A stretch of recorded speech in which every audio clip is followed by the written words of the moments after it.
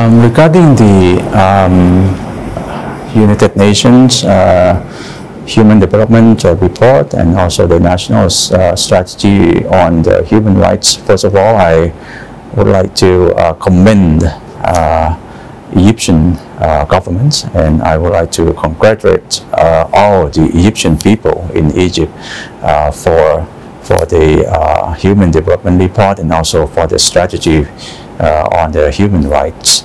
Um, on human development um, in Egypt, I think it's, it's very, very simple.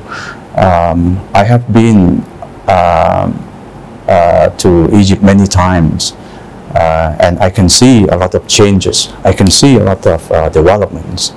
Uh, I can see a lot of infrastructure on the um, telecommunication or transportations and I, I can see a lot of new universities all around the country. So um, this is a development in, in, uh, in Egypt, you know, because the thing has changed.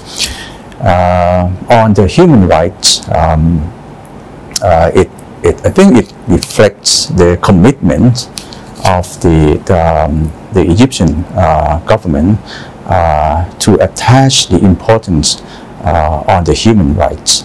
Um, I am pleased to know that uh, the national strategy on the human rights are the outcome of the dialogue between the government sector and the civil society in Egypt. So this is the, the com commitment of all to, to, uh, to attach importance to the human rights in Egypt.